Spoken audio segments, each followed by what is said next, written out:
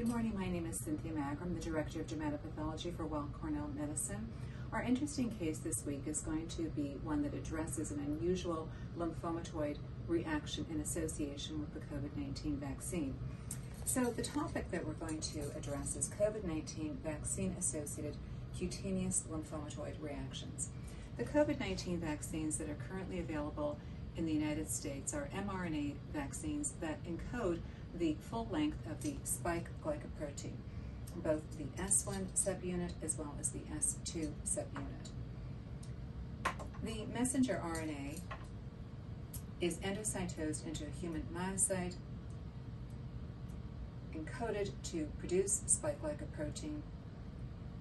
The spike glycoprotein is then secreted and elicits a fairly robust and effective adaptive T and B cell immune response. Not surprisingly, shortly after the introduction of the vaccine to the general public, we began to see skin reactions in association with the vaccine. And these reactions um, were, were quite interesting and was, were the basis of this paper entitled The Histologic and Molecular Correlates of COVID-19 Vaccine-Induced Changes in the Skin. We presented 22 patients with um, these unusual cutaneous reactions. Um, the majority of these patients had clinical and morphologic depictions of classic type 4 cutaneous hypersensitivity. Um, some cases resembled perniosis, uh, PR, pityriasis rubra pilaris, and guttate psoriasis. We had one case of a leukocytoclastic vasculitis, probably reflective of an Arthus type 3 immune complex reaction. We also looked for spike glycoprotein and for evidence of systemic complement pathway activation in normal skin samples post-vaccination, as well as in the inflamed um, skin samples post-vaccination. And what we discovered um, was a very, very small amount of spike glycoprotein localized to ACE2 positive vessels in the deep dermis and subcutis without any evidence of classic complement pathway activation in contradistinction to patients with severe COVID, where we also examined normal skin and thrombosed skin, where the spike glycoprotein was localized to ACE2 positive vessels in the deep dermis and subcutis, but, at, uh, but in much larger quantities, and as well there was evidence of systemic uh, complement pathway activation. This is a very um, classic case of um, one of these COVID-19 vaccine reactions, the patient presented with an erythematous papular rash um, shortly following the COVID-19 vaccine. Um, the biopsy showed a, a lymphocyte-mediated interface dermatitis with evidence of epithelial injury. In addition, there was a lymphocytic vascular reaction and also an interstitial uh, granulomatous pattern as revealed by histiocytes scaffolding along collagen and elastic fibers. And it should be emphasized that these reactions, um, that these reactions that we reported in our paper uh, developed within two days up to about four weeks after receiving the first or second doses of the Pfizer or the uh, Moderna vaccine. So what is the basis of these vaccine-triggered reactions in the skin? An adaptive T or B cell immune response to spike glycoprotein although as a generalized immune response, since the amount of spike um, actually localized to the skin is so minimal. Another possibility, although less likely, is a type 4 immune response to some other component in the vaccine vehicle like polyethylene glycol. And then finally, the mRNA vaccines do have immune boosting properties and could, in theory, unmask subclinical cutaneous eruptions or uh, subclinical hypersensitivity uh, syndromes. One of the commonest patterns that we encountered in these um, cutaneous uh, reactions post-vaccination was an interface and granulomatous dermatitis with granulomatous and lymphocytic vasculitis, really um, characteristic for a type 4 hypersensitivity response to a microbial pathogen with superantigen properties. And indeed, spike glycoprotein has potent superantigen properties um, which means that it can actually stimulate a significant component of the T cell repertoire. Furthermore, spike glycoprotein induces a robust follicular helper T cell response. So not surprisingly, we began to um, uh, see lymphomatoid reactions, T cell lymphomatoid reactions in the setting of the vaccine, where the vaccine reactions were atypical cytomorphologically, um, architecturally, and phenotypically.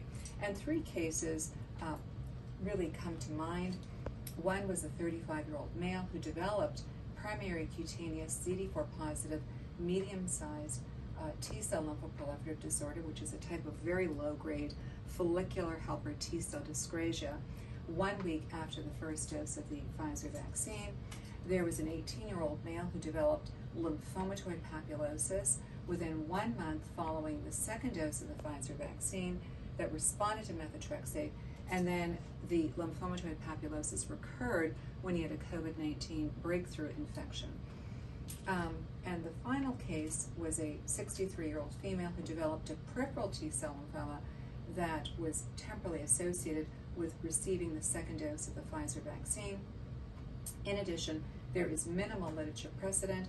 Um, there is one 79 year old male who developed uh, a recurrence of lymphomatoid papulosis two days after the first dose of Pfizer, and there was another patient who developed angioimmunoblastic lymphoma five months after receiving the Pfizer vaccine and then had worsening of his angioimmunoblastic lymphoma, which is a follicular helper T cell lymphoma um, with the uh, booster. So I'm going to focus on this um, case of peripheral T cell lymphoma.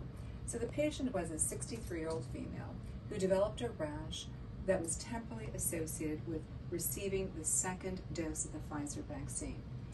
The initial biopsies in April and May of 2021 were interpreted as uh, delayed hypersensitivity reactions, but because her rash uh, progressed, she had a repeat biopsy in June of 2021, which was interpreted as probable hypersensitivity, but with atypical lymphomatoid features. Um, and, and at that point, the differential diagnosis was one of an evolving T cell lymphoproliferative disorder. The rash resolved, however, with steroids. The patient then developed a recurrence of her rash with the vaccine booster. Once again, with steroid intervention, the rash cleared. Um, but then she had a breakthrough COVID 19 infection, quickly recovered, but she developed new patches, plaques, and nodules. And since then, her rash has been progressive, and she has now developed um, peripheral lymphadenopathy.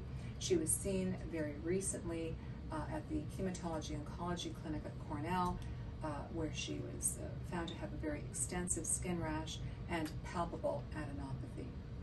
So let's go over the skin biopsies that we have on this patient.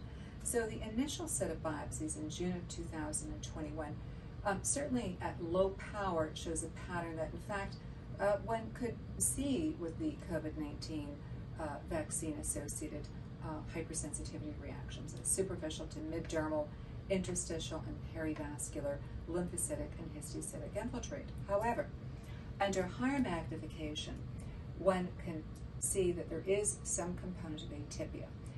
Many of the lymphocytes around the blood vessel are small reactive lymphocytes, but there is an interposition of these intermediate to larger sized lymphoid forms, which in fact prevail in the intravascular interstitium. And these cells were proven to be phenotypically T cells, but they have an almost histiocytoid appearance. Relative to these small reactive lymphocytes, they are larger, the chromatin is more open, um, with moderate amounts of eosinophilic cytoplasms.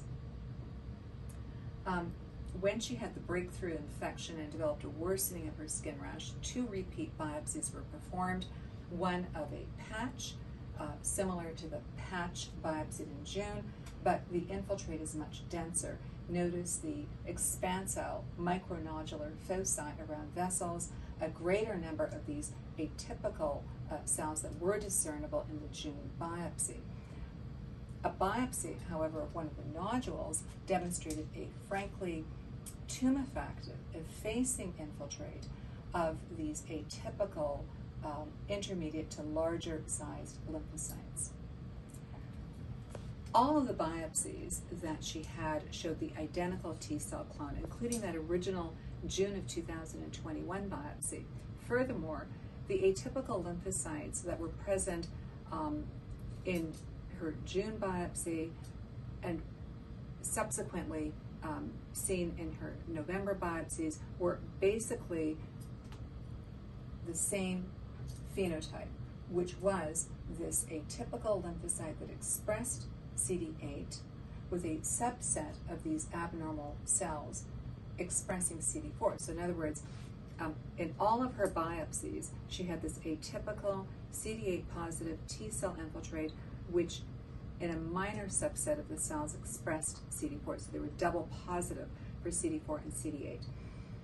You can see that these atypical cells are also CD25 positive, while the smaller lymphocytes that are clearly reactive do not express CD25.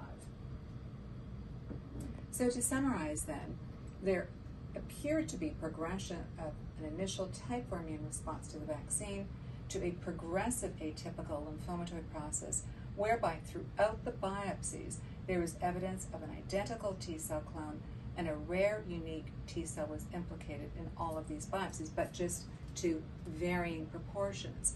Um, namely, this CD25 positive non regulatory cytotoxic CD8 positive memory T cell, which included a subset of T cells that, that had a double positive phenotype. The earlier biopsies, like the one from June, could be interpreted as a vaccine triggered or associated CD8 positive T cell lymphoproliferative disorder of non regulatory CD8 positive memory T cell origin, while the subsequent biopsy in November, and then she had more biopsies in 2022, um, were really in the context of a peripheral T cell lymphoma of CD8 positive memory T cell origin as a unique form of immunosenescent lymphoma, as I will discuss presently. So the critical question is, is there a benign T cell counterpart that could be preferentially expanded in response to spike glycoprotein in the middle age to older age setting? Indeed, there is a rare T cell subset represented by a CD8 positive, CD25 positive, non regulatory memory T cell population that occurs in healthy elderly persons who have depleted naive T cells. And these cells can show a double positive phenotype. This cell population represents a critical reservoir for launching an intact immune response to viruses and to a vaccine. And in fact, the presence of double positive memory T cells has been correlated with a better outcome. So, how do we link the spike glycoprotein mediated type 4 immune reactions to the COVID 19 vaccine associated T cell lymphomatoid reactions? Well, there is a multi-step process involved in lymphomagenesis. We have an initial antigenic stimulus that leads to a clonally restricted T or B cell response. In the setting of underlying iatrogenic or endogenous immune dysregulation, um, this immune response can be overzealous, and then there is subsequent oncogenic transformation of clonally restricted T or B cells that are unrelated to any oncogenic properties of the vaccine or the virus that eventuates into endogenous T or B cell lymphoproliferative disease. And the nature of the adaptive T cell response to spike, spike glycoprotein could determine the type of vaccine associated lymphomatoid reaction. So, in healthy patients, especially younger patients, a robust type 4 immune response mediated by activated antigen specific CD4 or CD8 T cells is characteristic. Uh, potential benign reaction in the skin that could be seen under those circumstances would be the classic COVID-19 type 4 hypersensitivity, COVID-19 vaccine associated type 4 hypersensitivity reaction, while the atypical counterpart would be lymphomatoid papulosis. Follicular helper T cells are also preferentially expanded by spike glycoprotein, so the atypical counterpart could be primary cutaneous CD4 positive, small medium sized pleomorphic T cell lymphoproliferative disorder, as we saw in one case, or angioimmunoblastic lymphoma, as has been previously reported. And then in older individuals where the naive T cell repertoire is significantly diminished, expansion of CD25 positive, CD8 positive T cells occur in response to SARS coronavirus 2 and is certainly protective against severe disease. And then, then we have this atypical counterpart, which would be the CD25 positive, CD8 positive uh, peripheral T cell lymphoma. Thank you very much.